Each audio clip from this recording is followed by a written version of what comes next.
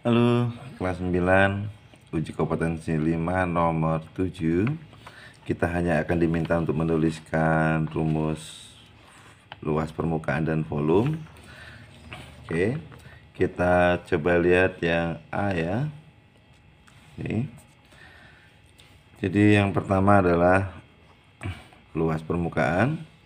Ini kita anggap sebagai benda padat itu luas permukaan itu yang pertama luas ada luas alas kemudian ditambah luas selimut tabung ya.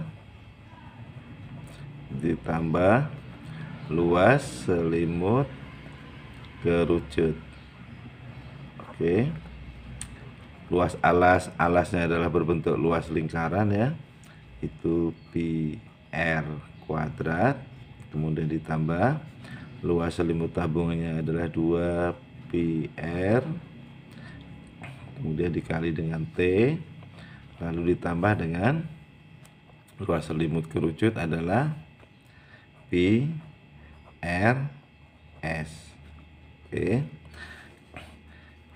Ini PR kuadrat ditambah 2 PR kali T ditambah dengan P R S-nya adalah bentuk ini ya. Ini S. S ini sama dengan akar dari ini adalah T-nya ya. Akar T kuadrat ditambah dengan R kuadrat atau sebaliknya juga boleh ya.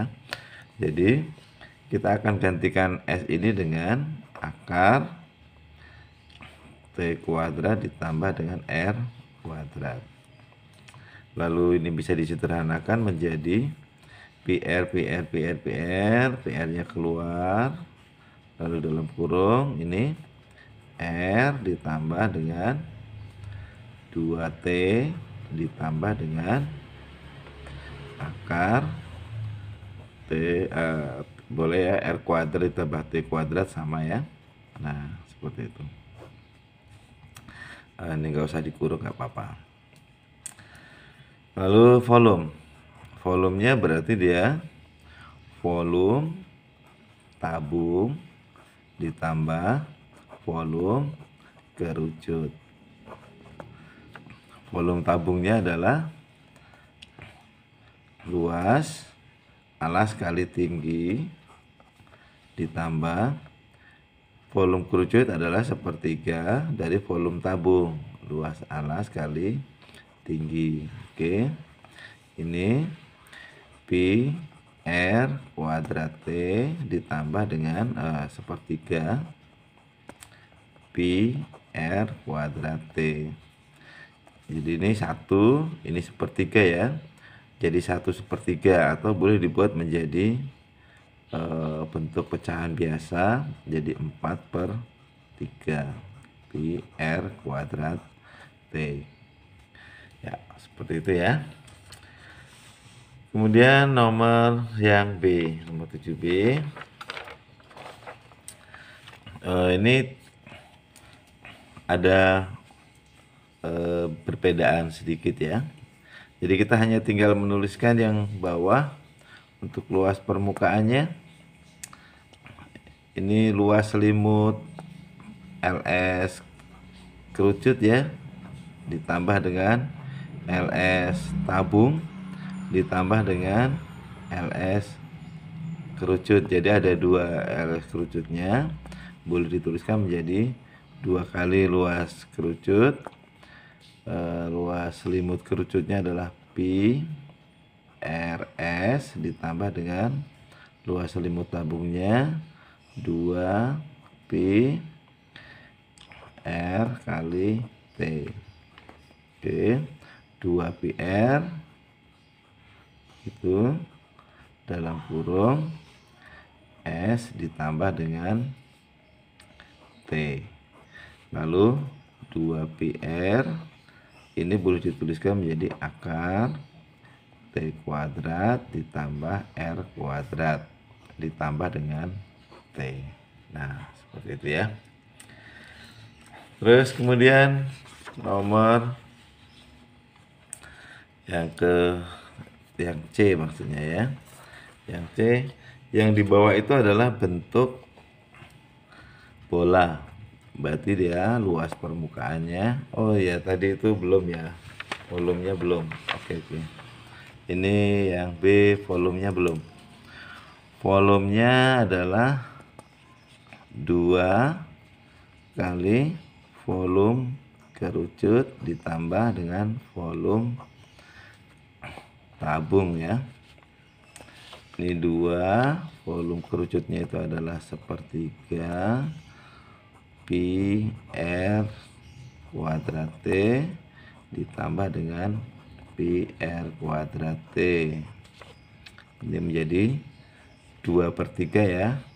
2 per 3 ditambah 1 ini kita buat 3 per 3 boleh. Ini 2 per 3 jadi 5 per 3 pi r kuadrat T.